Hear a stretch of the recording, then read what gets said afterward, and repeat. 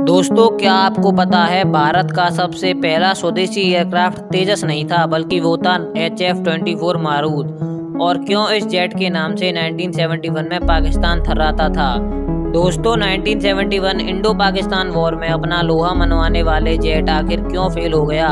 जानते हैं इस वीडियो में। वीडियो में आगे बढ़ने से पहले अगर आपने हमारे चैनल को सब्सक्राइब नहीं किया है तो हमारे चैनल को सब्सक्राइब करके इस वीडियो को लाइक कर देना। H F twenty four Marut या H L H F twenty four Marut Bharat का पहला स्वदेशी फाइटिंग जेट था, जिसका 1960 में एच एल द्वारा पहला मॉडल तैयार किया गया था, लेकिन इसकी डिज़ाइन एक जर्मन इंजीनियर कर्त टैंक ने दी थी।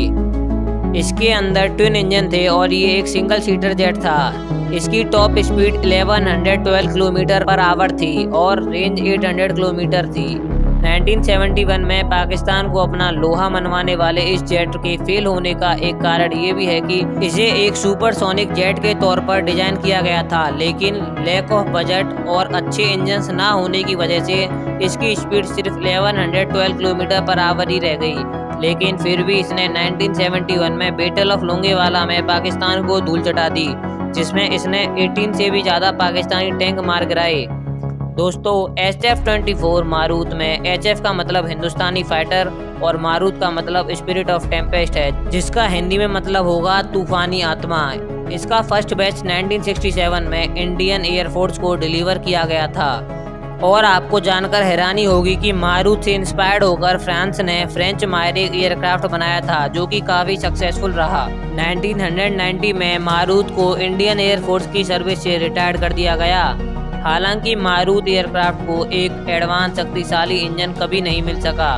इसके मॉडल्स आपको H museum Bangalore Indian air force museum Palam Germany war museum में आपको अभी भी मिल जाएँगे। मारूत भले ही खुद सुपरसोनिक जेट ना बन सका, लेकिन इसकी इंस्पिरेशन से ही तेजस जैसे जेट भारत खुद बना पाया।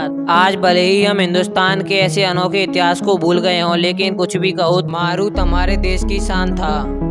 दोस्तों, दुनिया का सबसे पहला फाइटिंग जेट प्लेन की अनोखी स्टोरी और हिस्ट्री के लिए आई बटन पर क्लिक करके आप हमारी वीडियो देख सकते हैं। और हमारे चैनल को सब्सक्राइब करना ना भूलें, क्योंकि आज हम ही अपना गौरवशाली इतिहास नहीं पढ़ रहे हैं। इसलिए मैं आपको प्रोवाइड करता हूँ कम समय में इंडियन हिस्ट्री के फुल निचोड़। मैं अब आपसे मिलूँगा अगली वीडियो में। जब तक आप हमारी वीडियो को लाइक करके हमारे चैनल पर दूसरी वीडियो जाकर देख सकते हैं। धन्यवाद।